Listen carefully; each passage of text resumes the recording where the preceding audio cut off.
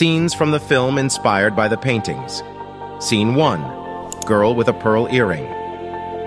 Our first stop takes us to Johannes Vermeer's 17th century masterpiece, Girl with a Pearl Earring. The girl's soft light and mysterious expression have captivated art lovers for centuries.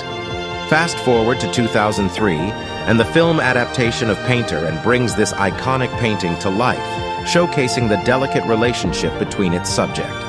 Scene 2, American Gothic and Grant Wood, 2017. Next on our list is American Gothic, Grant Wood's iconic depiction of rural life. This, the painting features a stern-faced farmer and his daughter standing against a simple farmhouse background. Coming to 2017, we have a film that pays homage to this painting. The film explores the themes in a contemporary setting while retaining the original essence, reimagines. Scene 3, The Son of Man and the Thomas Crown Affair, 1968. Show scenes from the film with the painting Host, Proceeding further, we encounter Rene Magritte's The Son of Man, where a man's face is covered by the hovering green apple.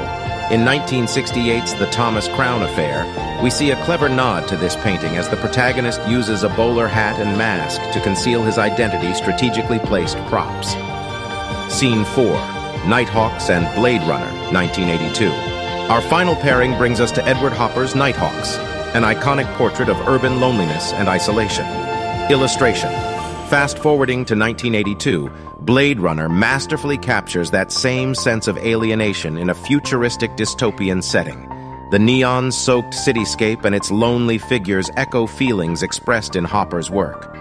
And there you have a glimpse into the world of cinema and art. It's truly amazing to see how paintings from centuries ago continue to inspire filmmakers to create unforgettable movie moments. If you liked this video, if you enjoyed, don't forget to hit that like button and subscribe for more content exploring the fascinating relationship between art and pop culture. Until next time, keep discovering the wonders of both the canvas and the silver screen. To watch. Thank you